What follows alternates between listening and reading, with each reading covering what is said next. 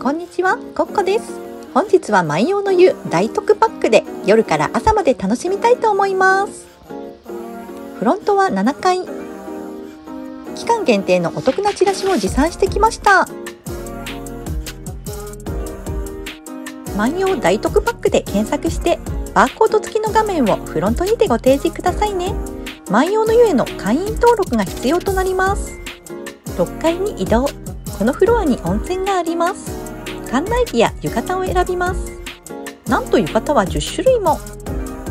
可愛らしいものからシックなものまで。私は今日は上下分かれた定番の館内着にします。チャック付きの便利なポーチも借りて。さてお腹ペコペコなのでまずは夕ご飯。大特プランではメイン料理が1品選べます。それから朝食ビュッフェ深夜料金が無料となります。単品メニュー。びっくりするほど品数豊富。鍋や丼物。麺類。串も。デザートやドリンク。特別メニューの提供は22時まで。惣菜のタイムセールとのことで追加でこれを。特別メニューから近江牛好き鍋。ライスは別注でした。選べるもう一つの特別メニューは刺身7点盛りでした。お惣菜は他にも天ぷら煮物焼き物いろいろとありましたよ。どれでも100円のタイムセールが始まったのは21時頃だったかな。お茶やお水はセルフ。アルカリイオン水に有機粉末緑茶。美味しいお茶やお水たくさんいただこう。お肉が結構なボリュームなので火が消えるまでによくほぐしておきましょう。生卵だいぶ美味しいですよね。固形燃料足りるかとドキドキしたけどよかった。間に合った。展望足湯へ。腰掛け用マット夜はライトアップ。風情がありますね。ここならカップルでも仲良く疲れますね。夏の昼は暑いか。一人楽しむ私。特別な風景。記念撮影の小道具にどうぞって。ゆっくり温泉に。夜遅くや早朝なら静かにゆったりできますよ。個人的にはぬる湯の水素風呂と露天の寝湯が気持ちよかったです。読書どころ。テーブルが並んでいます。ここは漫画や雑誌が並ぶ部屋。一人で来たらここで過ごす時間が多くなりそう。岩盤浴は女性専用と男女で利用できる部屋もありますよ。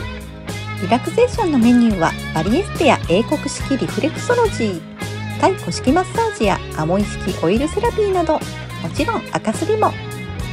手軽な足つぼマッサージ。フェイスカバー×無重力。これはぜひ体感してみて。深夜料金込みのプランなので今日はリラックスルームで休ませていただきます。女性専用もありますよ。座席はほぼフルフラットまで倒れます。ブランケットやタオルで補正して寝心地よくして休みましょう。おやすみなさい。おはようございます。